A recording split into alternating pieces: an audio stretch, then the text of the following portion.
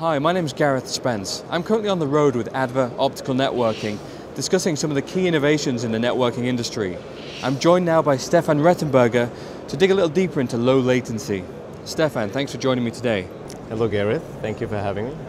Now, the topic of low latency was a hot topic in 2010. We saw a lot of trade press on the topic and a lot of mainstream coverage as well. Why should people care about low latency? Well, I would say a lot of people don't really, but uh, there's a small group of individuals that really do care about microseconds and nanoseconds. Um, these folks are mainly dealing with applications like high frequency trading, arbitrage trading, etc. And in these applications, a millisecond difference can mean a fortune. Okay, true. Is it still a hot topic then in 2011? Something we should watch out for?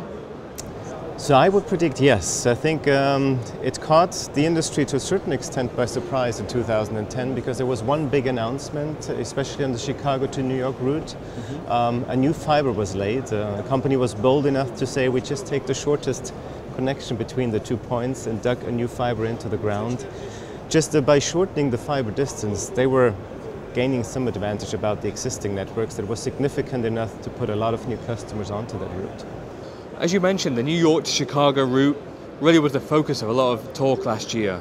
Is it only long distances where low latency is an issue? Mm, absolutely not. I think there, um, on the low latency side, you certainly understand it quite easily that distance matters, and a shorter distance gives you shorter transmission times. We're talking the speed of light here, so it's not just the speed of light in the fiber, it's also the transmission equipment that goes on there. And that equipment is not only relevant in the long distance space, but also by connecting metropolitan areas inside the cities, as well as then the proximity between the locations. So it's not only a long area, wide area topic, but also something that is important in metropolitan area networks. Okay. Um, low latency deployments seem to be spread across a few hot pockets around the world. What's happening in other regions at the moment? So again, I think the US, rightfully so, grabbed most of the attention in 2010. I think a lot of progress and new investment went into low latency networks in North America. I predict that other regions will follow. Certainly the geographical setup um, has a play in terms of how much equipment is needed and how the networks are being built. But London, Frankfurt, a couple of the trading places also in the Far East are trying to optimize the trading infrastructure and trying to get latency out of the network. Okay. When we talk about latency now, we talk about nanoseconds. How much further can we go with our solutions here? Well, you're right. There's only so much you can do. We're ultimately talking about the speed of light. We know it's a constant. Speed of light in glass is also very well defined. So really the only areas where can you continue to optimize is either the distance or the transmission equipment that goes onto the network.